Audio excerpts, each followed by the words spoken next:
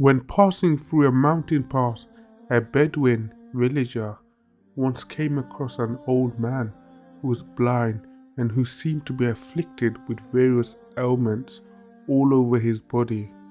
It was clear that he was wasting away. He was even paralyzed and was constantly forced to remain in a seated position.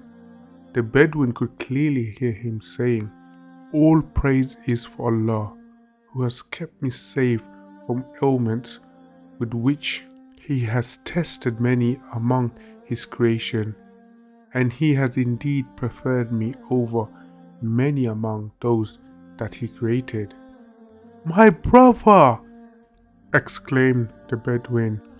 What have you been saved from?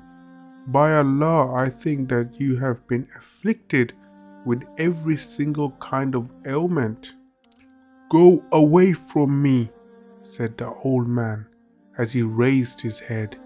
Do I not still have a tongue with which I can pronounce his oneness and with which I can remember him every single moment? And do I not still have a heart with which I can know him?